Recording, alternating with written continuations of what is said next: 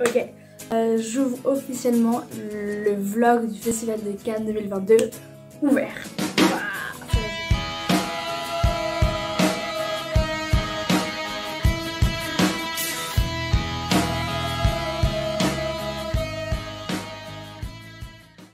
Le lundi 23 mai, il est à peu près 15h30. Demain, je pars au Festival de Cannes pour... Euh, serai à peu près 4 jours. Ce sera vraiment la fin du festival. Donc là, il y aura la, la cérémonie de clôture et il y aura plein d'événements trop chouettes. Et du coup, j'ai décidé de vous emmener avec moi parce que ça va être une expérience incroyable. Je pense qu'on va vivre ensemble. Et j'ai envie de faire ce vlog aussi pour faire des souvenirs pour moi. Du coup, bienvenue et j'espère que cette aventure avec moi va vous plaire. J'ai décidé de ne pas y aller en avion pour Cannes pour éviter trop de pollution vous voyez, logique. Et les trains coûtent beaucoup, beaucoup trop cher en ce moment et je peux pas, je suis étudiante, je peux pas payer des trains. Donc j'ai décidé d'y aller en bus, ce qui fait que je pars demain matin euh, pour à peu près 10 heures de bus pour descendre à Cannes. Donc j'arriverai le mercredi matin. Je dormirai dans le bus, je passerai la nuit dans le bus. Et bah, ça demande aussi beaucoup d'organisation. Il faut que je prévoie mes repas, mes encas, ma boisson, enfin et des choses aussi pour m'occuper parce que 10 heures de bus c'est quand même pas rien. Mais ça va être cool au moins genre je suis en vacances et je vais juste regarder le paysage et ça me dérange pas forcément de prendre un bus et c'est juste l'aventure donc voilà quoi. en tout cas là il est 15h30, nous sommes le lundi 23 mai et je dois faire ma valise. Je dois évidemment me doucher, faire un shampoing parce que là c'est horrible et on va faire tout ça ensemble. Et après, bah, vous me suivrez encore quand je serai à Cannes demain, je l'espère. Que ça va être trop bien.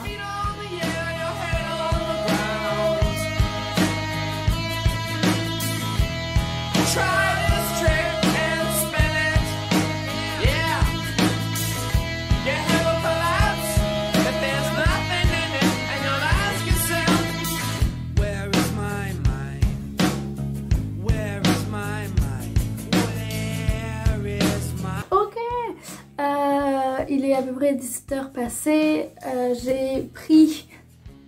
Je sais pas comment mettre. Ah, j'ai pris ma douche et mon shampoing. J'ai genre fait 36 000 soins sur mes cheveux, sur la peau pour être pimpante et clean pour le festival de Cannes. Parce que s'il y a un jour ou un moment où on doit être assez fraîche, c'est pour le festival de Cannes. Donc j'ai fait tout ça. Je suis aussi épilée. Comme ça, on est en bombe. Après, je pense que je vais faire plus tard un disclaimer sur euh, toute la mise en beauté qu'on doit faire euh, pour le festival de Cannes.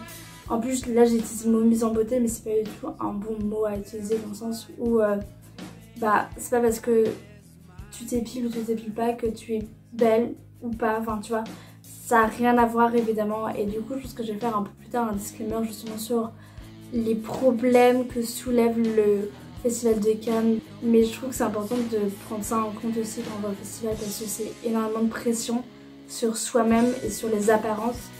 Et bah faut vraiment en avoir conscience. Là, c'est con de dire ça, mais évidemment tout ce que j'ai fait sur moi, pour moi, c'est mes propres choix. J'ai pas été dictée par qui que ce soit. Mais euh, on peut vite être influencé et faire des trucs qu'on n'a pas envie de faire. Du coup, je pense que bah, plus tard, je vais vraiment poser un disclaimer.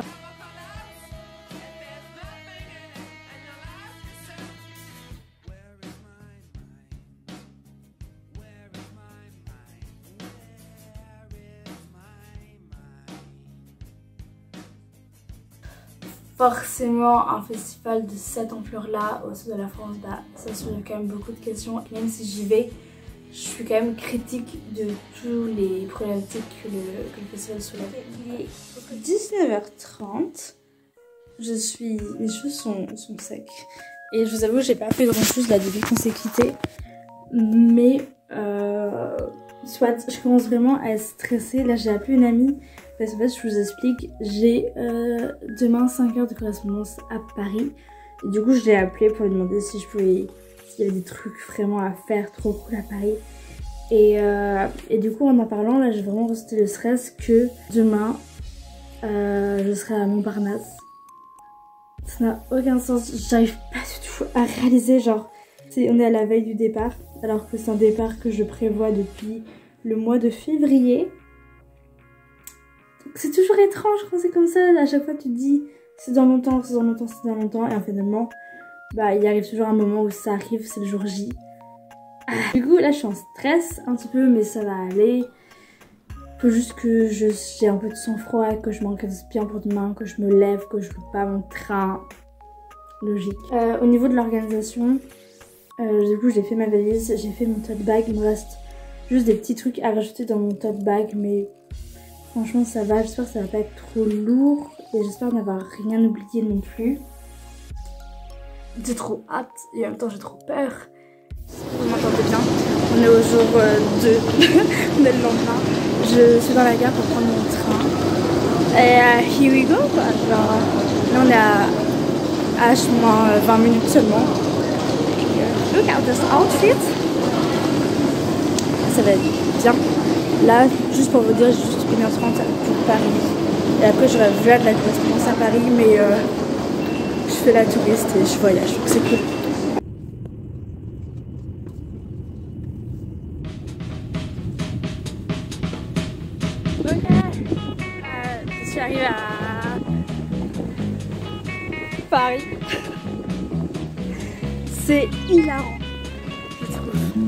De l'avoir en vrai. Et juste de, passer genre 5 heures de vacances à Paris. Mais soit, vraiment, meilleures vacances là. Tu vois, je suis censée aller au Festival de Cannes. Non, non, non, là je suis juste à Paris. Faire ma grosse touriste. C'est hilarant. Ok les gars,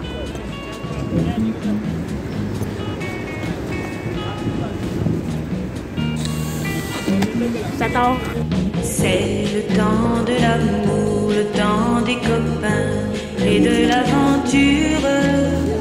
Quand le temps va et vient, on ne pense à rien malgré ses blessures. Car le temps de l'amour, c'est long et c'est court, ça dure toujours, on s'en souvient. Ben voilà, euh, là je me trouve au musée du Quai Branly qui est juste derrière moi, méga long en plus. Et il va encore là-bas. Et euh, c'est cool parce que musée, on en parle souvent en cours et tout. Donc je, trouve que c'est important que j'aille au moins voir euh, l'extérieur. Du coup j'ai quitté Eiffel. Euh, je voulais voir le club en lit. Et là, simplement suivre la scène tranquillement. Et si je peux choper le pont Alexandre III, le... et après un peu plus tard la cathédrale, etc., ce sera nickel pour moi se dit qu'à 20 ans, on est les rois du monde et qu'éternellement, il y aura dans nos yeux tout le ciel bleu. C'est le temps de l'amour, le temps des copains et de l'aventure. Quand le temps va et vient, on ne pense à J'espère que vous m'entendez bien. Euh, je j'ai pris mon, plus mon premier bus de la journée euh, pour Cannes. Là, je vais m'arrêter à Lyon ce soir vers 23h minuit. Paris, c'était trop cool. J'ai visité plein de trucs, j'ai fait pas mal de choses à pied. J'ai vu le pont Alexandre III que je voulais trop voir. Et du coup, c'était grave fun. Fait ma grosse touriste. Et euh, tout derrière, il y a plein de monde qui part à Cannes derrière moi. Donc je pense que ça va être sympa. Car le temps de l'amour, ça vous met au beaucoup de chaleur et de bonheur. Un beau jour, c'est l'amour et le cœur va plus vite. Car la vie suit son cours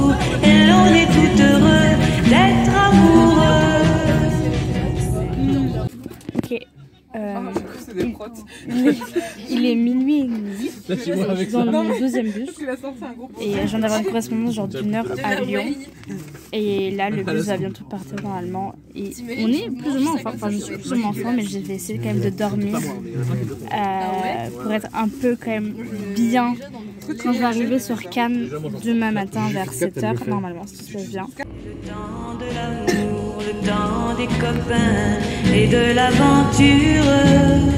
Quand le temps va et vient, on ne pense à rien malgré ses blessures. Car le temps de l'amour, c'est long et c'est court, ça dure toujours, on s'en souvient, on s'en souvient,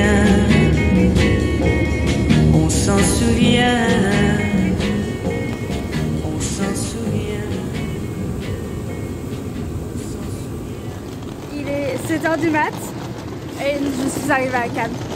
Ah, enfin, Euh, il fait juste tout moche. Du coup, je le sonne. Mais ça va être cool. Suis enfin arrivée à Cannes. Les gars, je suis trop contente. Faut que je monte plus, mais il y a, j'ai vu la montée des marches, enfin là, les marches rouges et euh, le palais du festival, etc. Je dis qu'à 20 ans, on est les rois du monde et qu'éternellement, il y aura dans nos yeux tout le ciel bleu. C'est le temps de l'amour, le temps des copains et de l'aventure. Je sais pas trop parler fort parce que je suis dans mon Airbnb. Et du coup, je suis arrivée ce matin et tout s'est s'est bien passé. Euh, j'ai l'impression que j'ai vécu 36 000 journées en une seule, genre tellement espèce de choses à Cannes.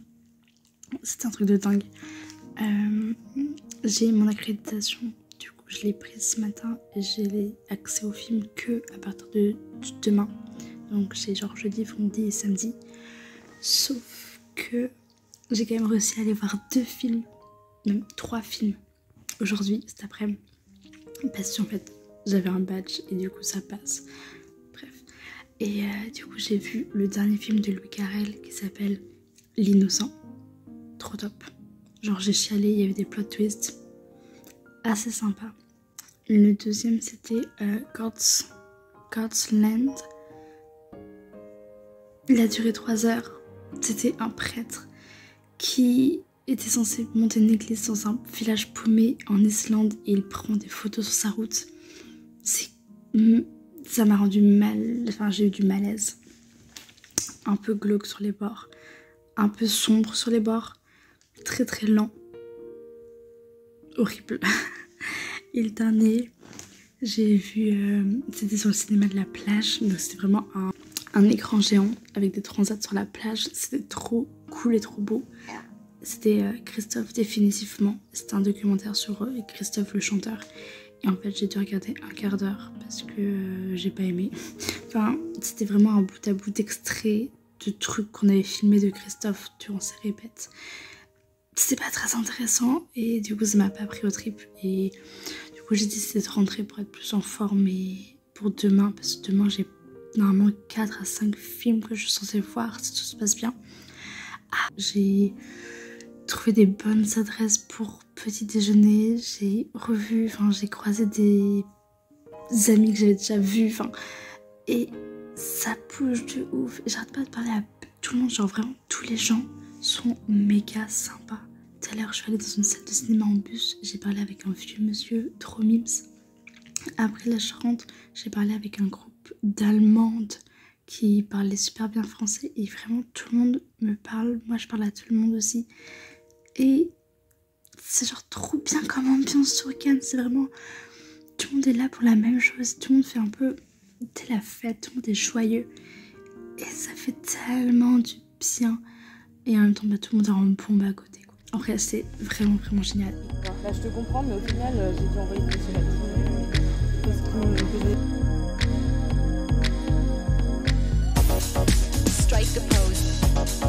On est jeudi, il à peu près 10h30 et euh, je sors de ma première séance. J'ai vu Mediterranean Fever, Mediterranean Fever. Euh, il était pas ouf, c'est pas mon film préféré. Euh, un peu lent. C'était dans la compétition un certain regard et euh, franchement, euh, ça se comprend que ça soit dans un certain regard, vous voyez. Et euh, là, du coup, dans une heure, j'ai un autre film. C'est euh, Métronome. Je crois que c'est aussi dans un certain regard. Donc voilà. Euh, ce qui est trop cool, c'était que j'étais dans la salle de Bussy, donc euh, c'est la salle avec euh, la montagne de marche et le tapis rouge, etc.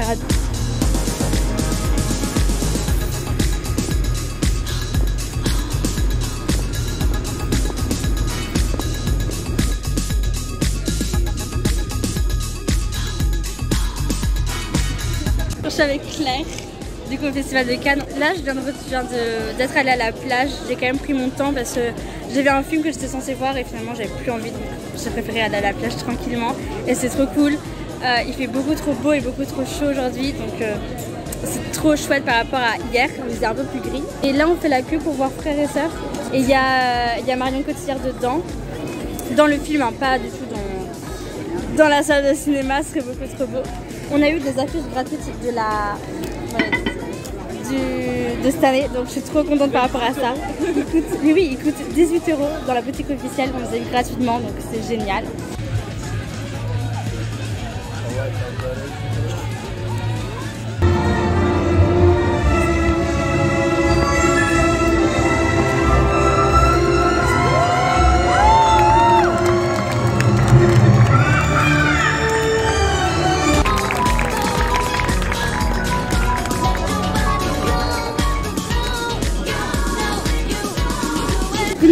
Vendredi 27, et, euh, il est à peu près 19h.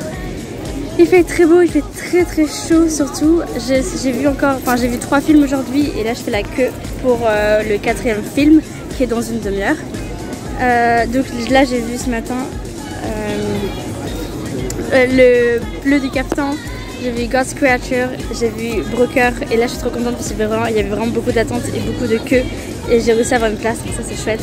Et là je vais essayer de voir Close ce soir mais je pense qu'il y a moyen parce que je suis bien placée dans la queue. entre temps je suis allée à la plage, je me suis baignée, forcément j'avais une heure à perdre donc euh, autant, euh, autant aller à la plage. Et voilà, genre c'est déjà la fin de la troisième journée, il me reste encore la journée de demain avec encore d'autres films. Je vais essayer de choper la montée des marches aussi ce soir. Je sais pas, j'ai pas vu beaucoup de stars, alors euh, c'est un peu ça qui me manque, mais sinon je trouve j'ai un bon euh, emploi du temps au niveau des films, donc ça je suis contente. Euh, là ce soir serait mon deuxième film en trois jours, en tout cas je suis contente d'être ici.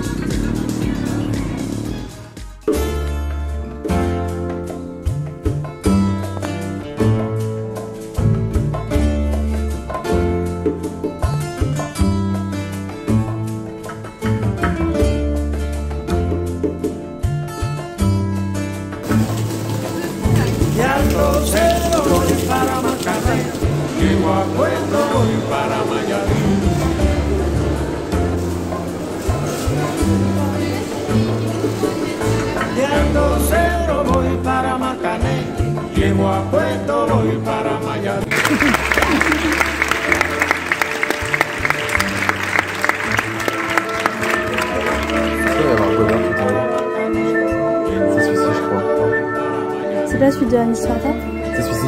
Godard.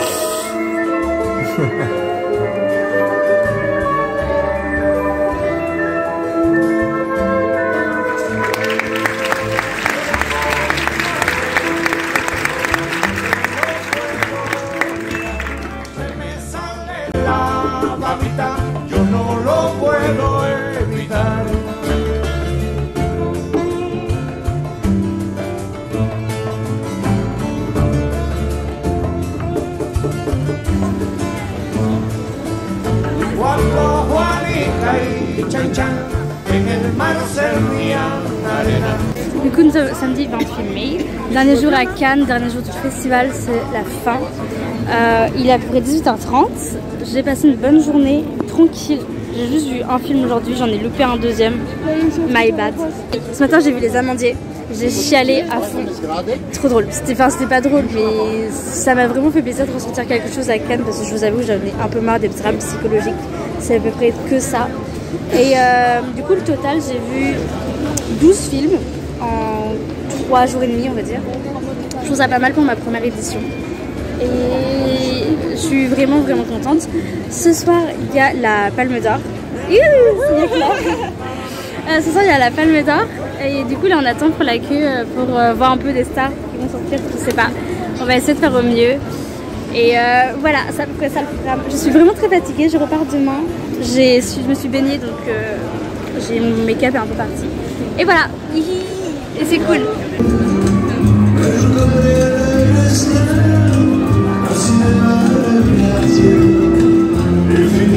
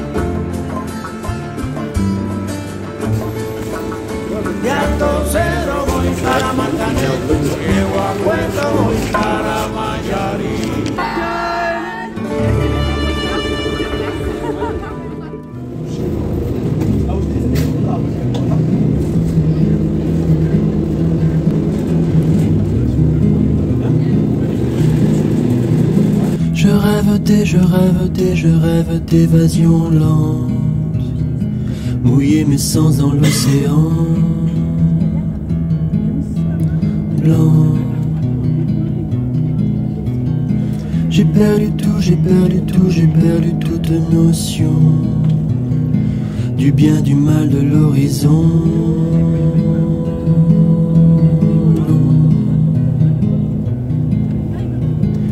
Attends-moi là, attends-moi là, attends-moi comme le vent, juste au-dessus des cabanons.